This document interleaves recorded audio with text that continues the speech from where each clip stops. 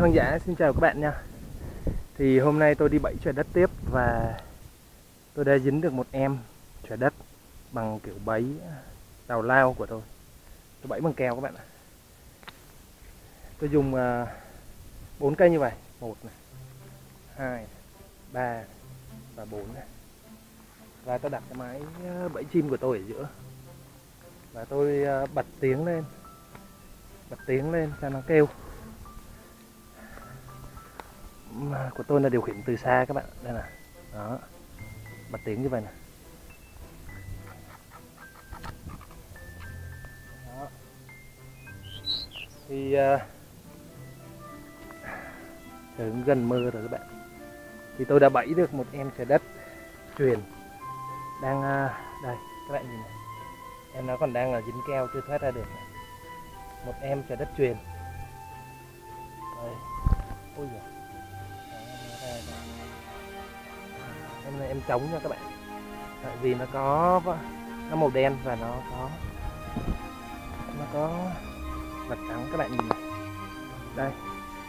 Đây là em à, uh, trời đất à, truyền trống truyền mà tôi vừa đánh được. Em nó tới em nó mổ cái camera cái, à, cái máy nghe của tôi.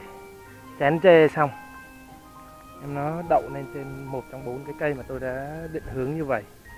Và em nó dính và việc tiếp theo của tôi đó là cất cái máy này đi đã. Có mưa ướt hết. Việc tiếp theo của tôi là mang em trái đất này về, tháo keo ở cắn ra cho em nó. Các bạn nhìn đây đó, đây là cận cảnh con trời đất vừa bị dính ờ, bẫy keo.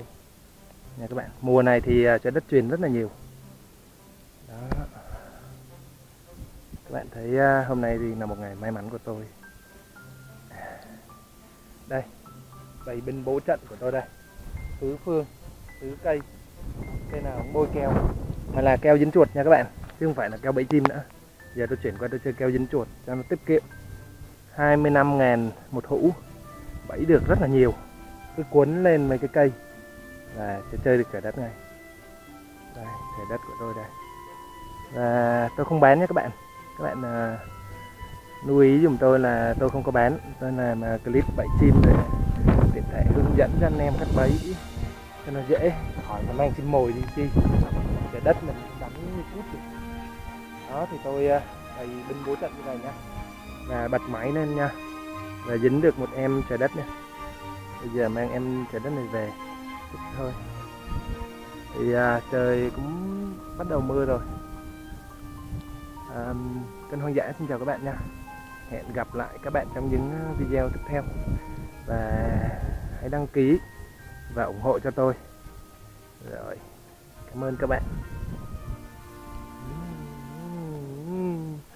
Ừ, mày là dinh bẫy mày là dinh bẫy. Ừ, đi về hót ta nghe nha. Ừ. Đây các bạn. Tôi đi về đây.